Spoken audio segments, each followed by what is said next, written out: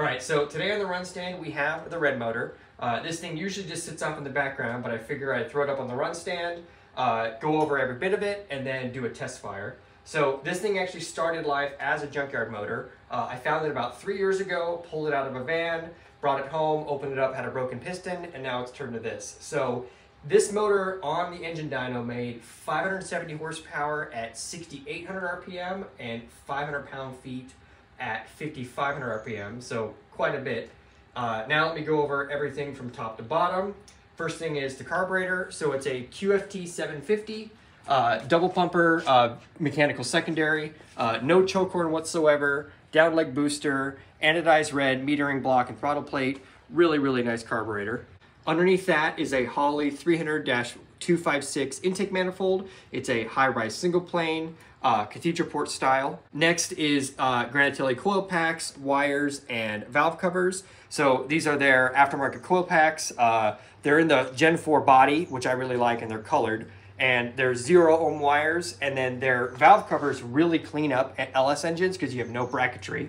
Underneath the valve covers, we have a set of AFR enforcer heads. So these are their new budget line. Uh, they flow 268 CFM on the intake at uh, 600 thousandths, uh, 64 cc chamber, 210 runner, uh, 2 inch intake valve, and a 1.6 exhaust. The only thing we changed was the valve springs. So I'll go over the cam next, but the valve springs that come with these heads don't support over 600 thousandths lift, and we put a set of 475 pound springs for more than that, the camshaft is from Tick Performance. It's a Street Heat Stage 3 for 6 liter, also called the Polluter V2. It's a cam I've been a fan of for a really long time.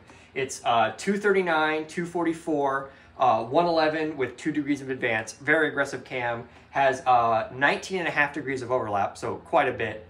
And the lift split is 635 on the intake, 610 exhaust and it has their push rods. Uh, we have their full Elite Series cam kit in here. Um, lifters are stock. Um, pistons, those are next. So the pistons are a CP piston. They're five thousandths over.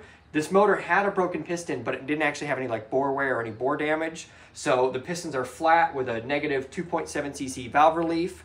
Uh, didn't need it. We checked piston to valve. It didn't actually need the valve relief, but it's just good to have it anyway, and they all come like that. And uh, with the 64cc chambers uh, on the heads and the negative 2cc dish with like whatever over out of the bore, it's just at like 10.9 to 1 compression. That's about it for aftermarket parts in the motor. The rods are stock Gen 4 rods, my favorite rod, uh, with just ARP bolts. Uh, the pistons, I guess I'll say that too, the pistons are designed for the stock 6098 rod and the crankshaft is stock. Exterior wise, the last aftermarket piece is the Holley 302-2 swap oil pan, basically the same as an F-body pan. Um, but yeah, I think that's basically everything. I'll now just throw fuel in it, throw the battery on it, and hope this thing fires up and runs good. So gravity fuel's on, battery's hooked up, we got the mufflers on. Uh, I haven't fired this motor in a really long time, so I hope it just lights right off, but let's see what happens. Contact.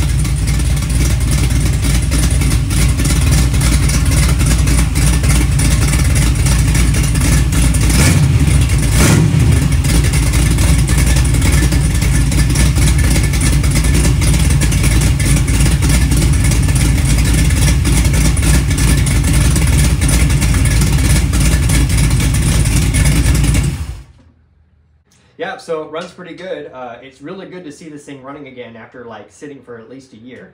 So uh, originally the plan was to put this engine in the El Camino. The problem is that the T56 that's in it definitely cannot handle 500 pound-feet of torque. I have a clutch that will handle it, uh, which I'll talk about in a future video. But yeah, a stock output shaft uh, definitely will just break immediately. So this, you know, could go in the El Camino once it has, once I have a T56 with a billet output shaft.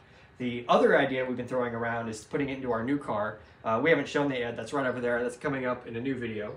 Uh, that's theoretically, because this is a 24 tooth motor, we could theoretically just drop that right in, go from there. But I think we're just going to keep this thing around. Hopefully at some point we'll have a car worth putting this in. Uh, but one more thing I want to do is I think I want to close the garage and just start it with open headers. It's going to be extremely loud and way too loud for the neighborhood. But yeah, I think I'm just going to close the garage, pull the mufflers off, and we'll start it for like like 10 seconds. All right, open header time. See how it sounds.